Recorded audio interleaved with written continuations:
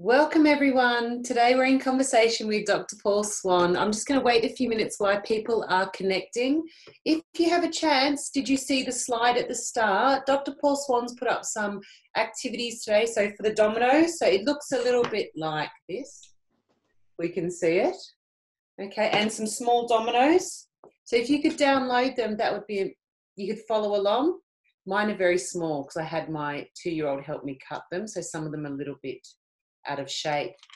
Now, Paul, this is our sixth webinar. So, so far we've talked dominoes. We're talking dominoes today. We've done place value, times tables, addition of subtraction, multiplication.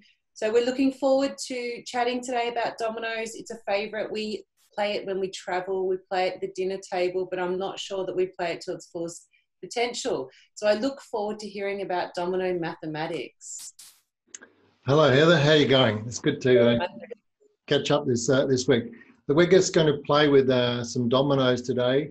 And the reason I chose dominoes was that they're fairly readily available, but I appreciate for uh, some people, um, they may not be able to get dominoes, and that's why we just made a set that you can cut up to use at home and so forth. So we just made a pretty basic set, but I'll work with uh, the dominoes I'm using today will be different colors, and I'll explain why we do that. And I happen to be using some foam ones It doesn't really matter. The wood ones are very nice, but I do like the different colors and you'll see why as, as we head into this uh, little webinar. So um, first of all, let's just have a look at the dominoes themselves. So I'll get you to have a bit of a look at the, uh, the screen here and we'll show you a set of dominoes that I've just set up. Now, essentially there, what you've got is what's called a double six set of dominoes. Uh, and what that means is that you're working from the double six down. You can get different sets of dominoes, but that's the standard one, the double six set. And that's the one that we've made as a bit of a uh, cutout that you can uh, cut your own double six set out. Now, at times, we'll talk about other sets. There's a double nine set, a double 12, and a double 15 set. But for everything we do today, we're going to use a double six or actually take some out as well. So let's just have a look again at the double six dominoes and I'll make a couple of comments here. So the dominoes I have here happen to be blue, and the reason for I like colour is pretty simple. I'm working in school with children. It's much easier to sort out. You'll see what I mean in a minute. Uh, when I've got a different colour, you can sort the blue out and the red out and so forth, and put them back into their individual packets. For lots of people, their dominoes are the black ones, which are fine, uh, but they're all mixed up and then when kids color in the little uh, dots there, you can't see them and so forth. So I prefer to have different colors, particularly if I'm working in a classroom. But if, uh, if it's at home, it doesn't really matter. And then I like to put them into individual bags. The next thing I like to do, if we have a look down here, I'm just going to separate out. So you can see I'm just pulling out the red ones because they're easy to spot, is I like to do an activity that involves sorting the dominoes. There's a couple of reasons for that. Um, when you sort, you're really using your problem solving and reasoning skills. So essentially here, you've got to think about how I might sort it.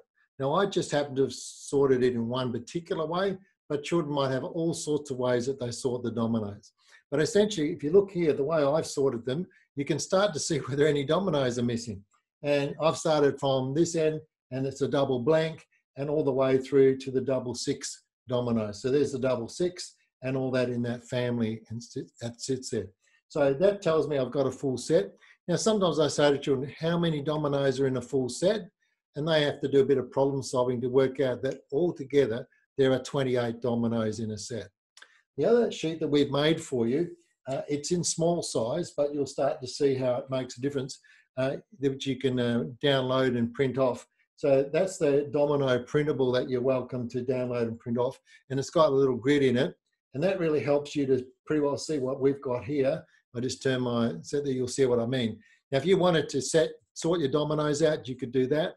And what we suggest to do that would be to simply take that sheet, and if you enlarge it to A3, and then put all your dominoes on it, and you'll see here we've made an enlargement, and then you'll see that you can simply put all your dominoes on there and just check you've got a full set. Because sometimes when you're playing dominoes or using some of those sort of games, if you haven't got the pieces, it's a bit frustrating. So once again, you can cut some out or play. We're going to do a couple of little activities and I'll just uh, give you the chance to try a few things. And then we're going to head toward a thing called problem solving because often people see dominoes purely as number work. So let me give you a couple of examples of what I do early on when I was playing with dominoes. Now, you see I've got some dice and I'm going to put them onto uh, my, the table there and you can have a look. And I've got two different dot dice there.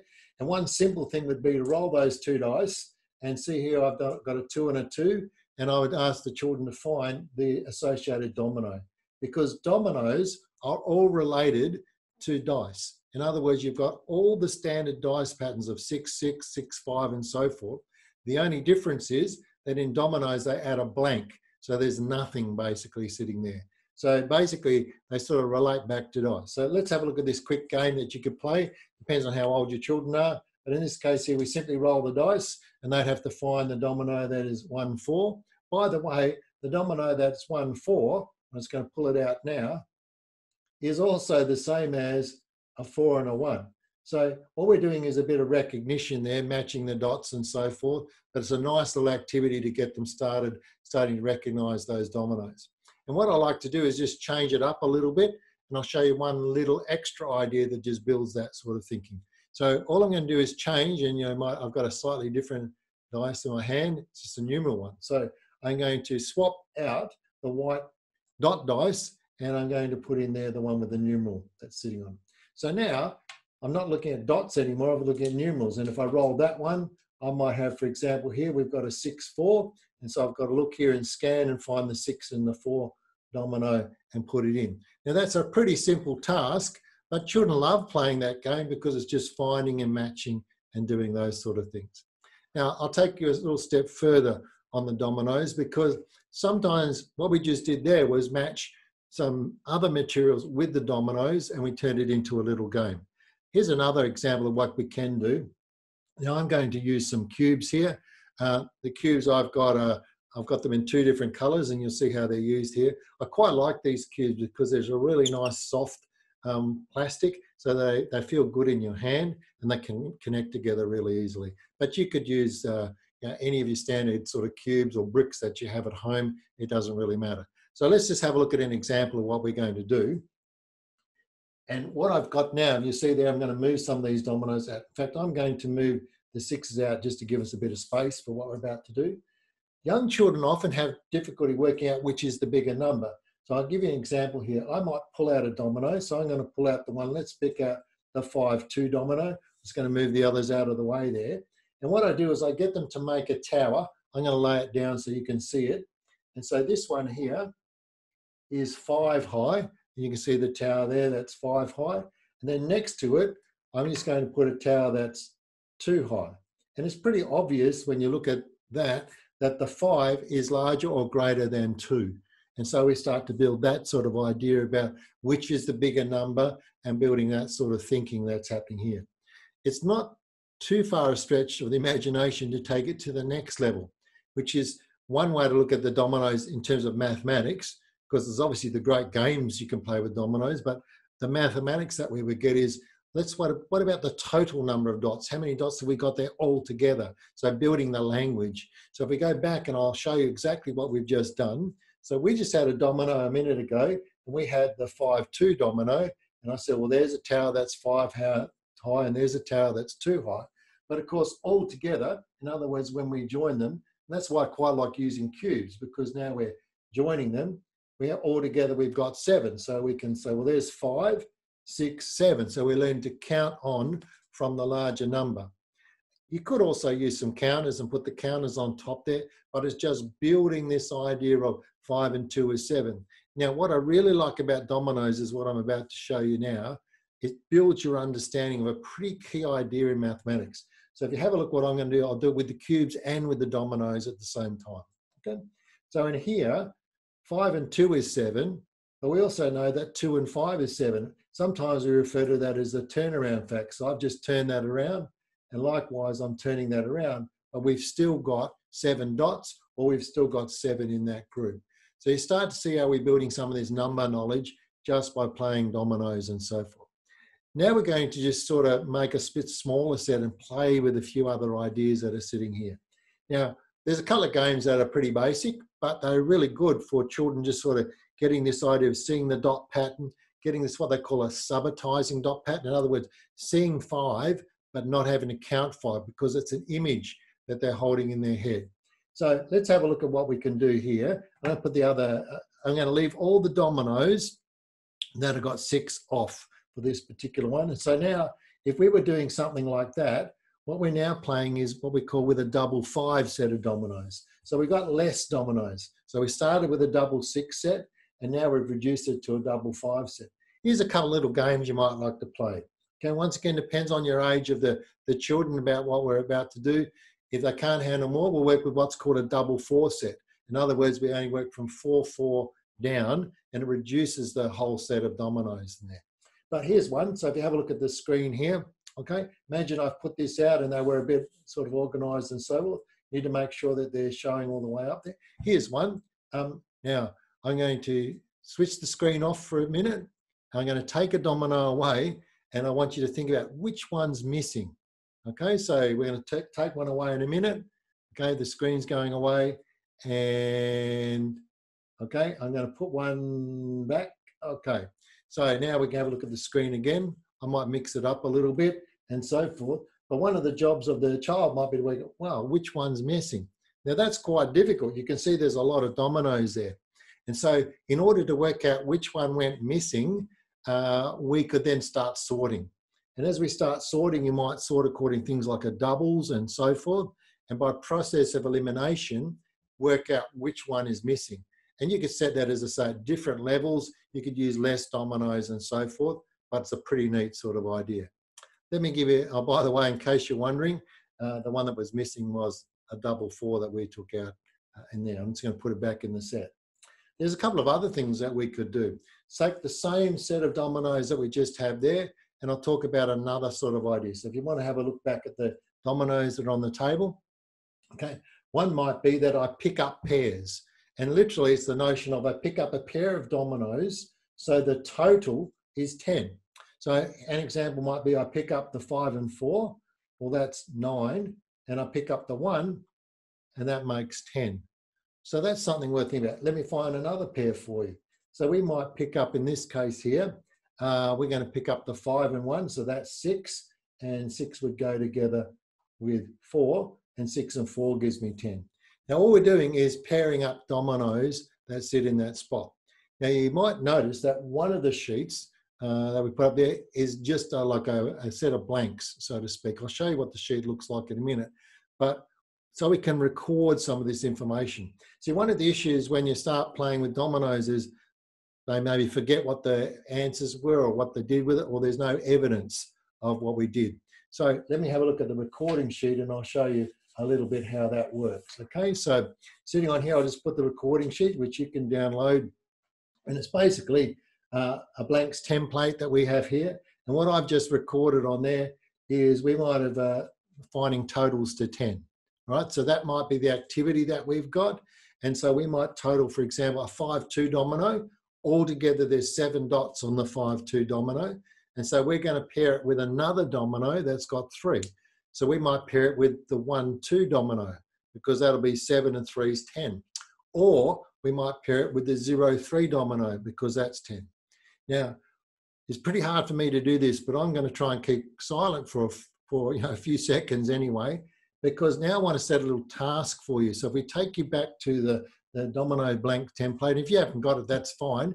You can just record it or grab some dominoes. So you see here, here's an example. We've got the five, two, and the three, that's 10. I think there are 30 other pairs of dominoes that will give you a total of 10. Now you might have to split some up as you do it, but how about I give you just uh, you know 30 seconds or so to find a couple of other pairs that add to 10, and then we'll talk about being systematic in a minute.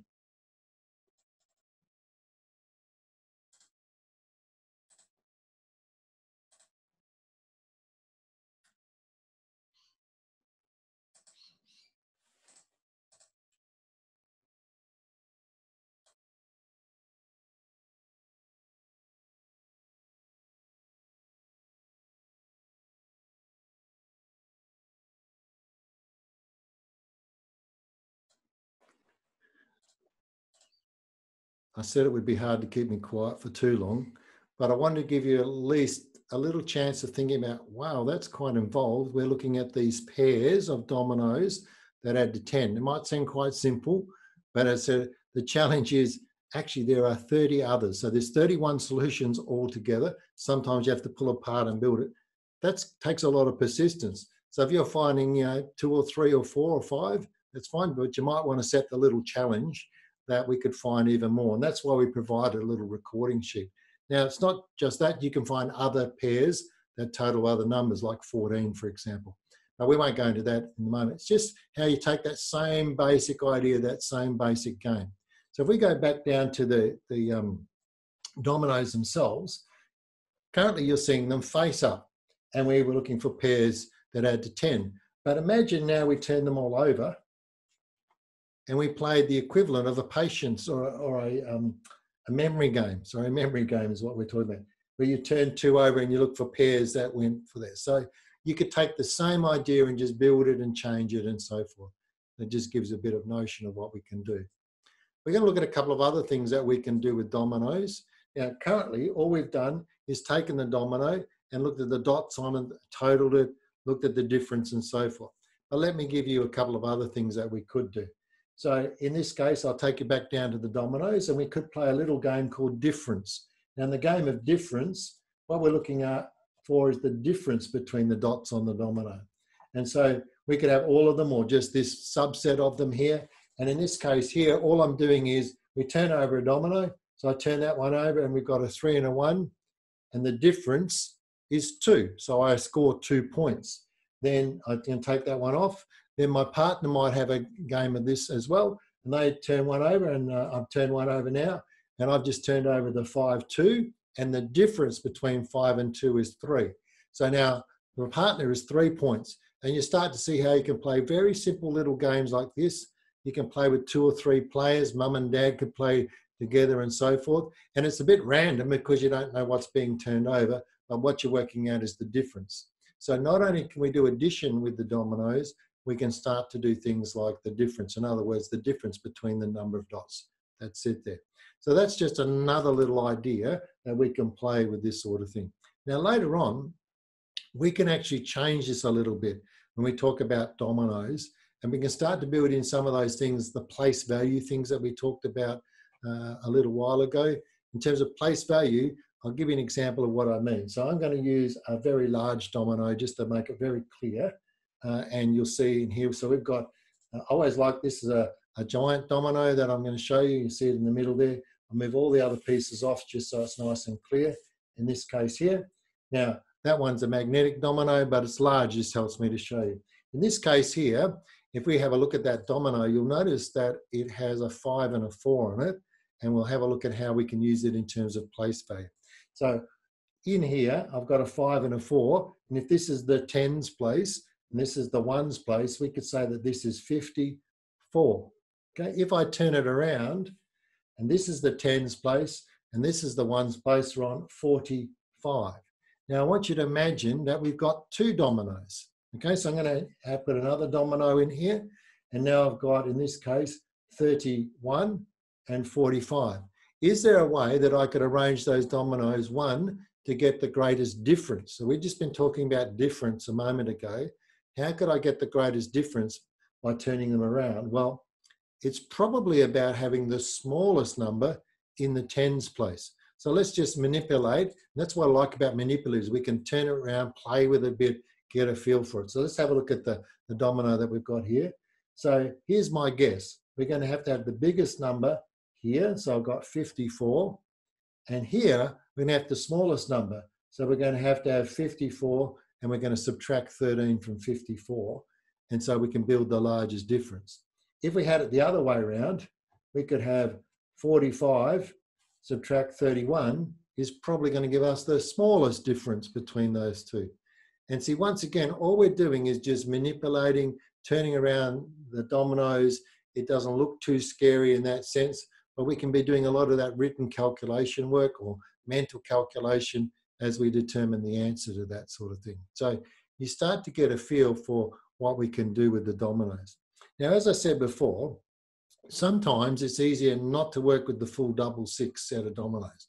It can be a bit overwhelming for some children. So next activity we're going to do just involves using what I'm going to call the double four set. Now, the double four set essentially means what we're going to use are dominoes where the maximum domino is double four. Now, once you think about that, if you happen to have downloaded the sheet that's got the dominoes on it, you'll see that that reduces the number of dominoes quite a lot. And so even just the activity of pulling out any domino that's above a double four is worthwhile. So if you have a look now, I'm turning the dominoes over. And this point here, that's a five and a four. So that one goes. Okay, this one's going to come back in. A five and a five goes. And you start to see anything with a five leaves the arena, so to speak. And we'll have a much reduced set of dominoes and it makes it a lot easier. So I'm going to set a little puzzle up. And once again, you might want to have a little bit of think time. So I'll try and be a little quiet. That's one that's got to go. So one of the questions I'd be asking, how many dominoes will there be when I've removed all those extras?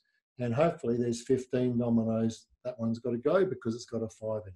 So we can double check that. I've got three, six, nine, 12, 15. So that's good. So I've got 15 dominoes and just the act of sorting that out makes a difference. So one, we've just done a bit of a sorting and now we've got far less dominoes. We're using this double four set, makes it a bit easier. And now I'm going to put us into a thing called problem solving. Now, in mathematics, we have understandings. Today we've talked about turnaround, the fact that five and two and two and five will give me the same total. That's an understanding. We've been doing fluency, the things that add together quickly to make 10. That's a fluency thing. But now what we're really going to do is use these manipulatives, these dominoes, to really get thinking going. And so we want to get these things called problem solving and reasoning. Reasoning when I'm explaining or describing what it is that I do.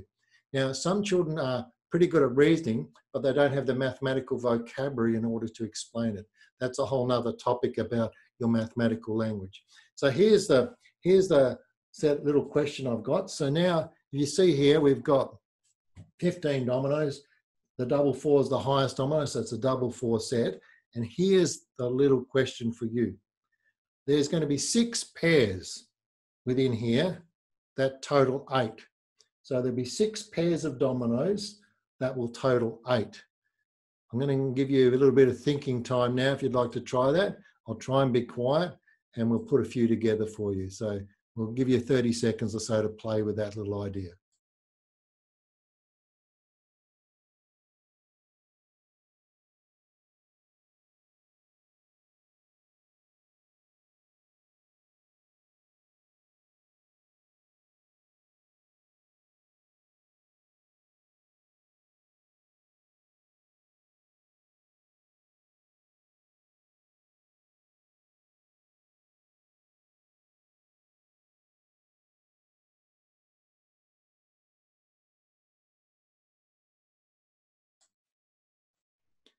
Now you might might have noticed as I was starting to do it, you can see that I've got eight and zero. So that gives me a pair that adds to eight or totals eight or the sum is eight. And I've got seven and one and I've got four and four. So we've got some nice bits here. And now I need to see whether I can arrange the others to make the same thing. So for example, here I've got six and that's going to go with two. Okay, so I've got five pairs that are totaling eight. Uh, see if I've got an, oh yes, I think I have. So there's a three and that's five and three is eight. So there's my six pairs that total eight. Now there might be other pairs to make that, but there's an example of what I was describing as you're using your fluency. So what we're doing is getting our thinking going with the with this, the fluency, but now I'm putting into a problem. So it's not as obvious as it might be, and it really gets you to use your fluency and apply it. A bit like why you might learn to play the the scales on a piano, you're learning it to play the music. Why are we developing fluency? So we can use it in solving problems. So now I'd like to set up a problem. Now it's a much harder problem in a sense, because it's really going to involve some reasoning. But I think you'll appreciate how even something as simple as a domino can actually get you thinking quite dramatically in mathematics. So here's the situation that I'm going to give you. I'm going to give you a little bit of information We'll set it up here. We'll use the large dominoes just to, to give you that sort of information. So if you'd like to look on the back on the, the screen here. Okay, here's a little bit of information I'm going to give you. We're going to have three dominoes. Now you won't be able to see them all. I'll put some small ones on there. We're always going to start with a double. So see here we've got a double four. And we're always going to have a thing called a joining rule. Can you see that four goes with four? I cannot, I am not allowed to join the blank with the four. Okay, I could join that four there, I could join it this way.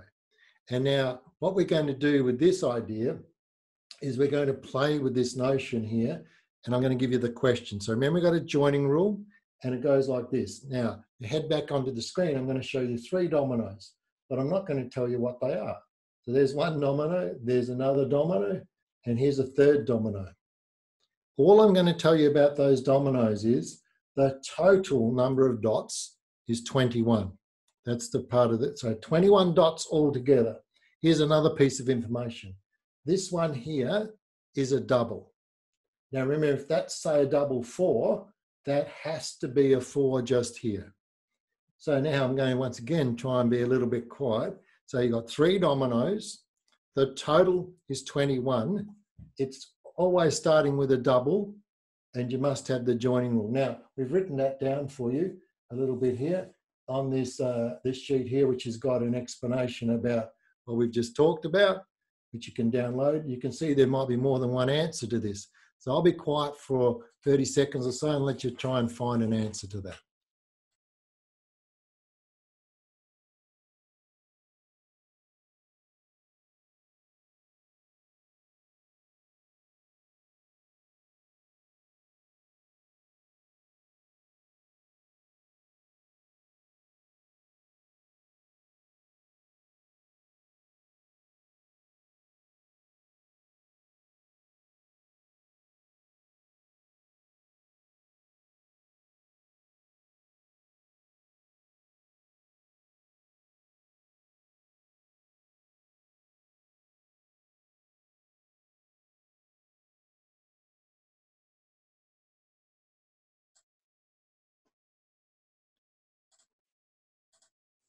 Now, I do hope your head's not hurting uh, on that question. And uh, yeah, I just wanted to reiterate. So you have to have, if you start with a double, the next number's got to start with that same number. So double five, your next number has to be five.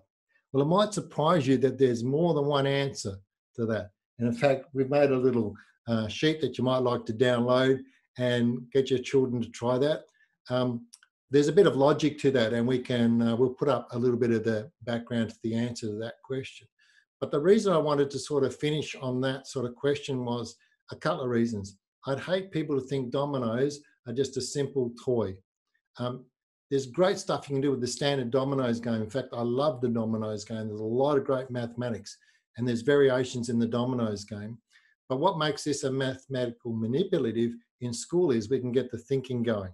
So I'll just run that past you again. So we got the idea of some understandings we've played with today, got the fluency that we can use it for, but the real thing of the future is going to be this problem solving and reasoning about thinking through this solution and that solution and so forth.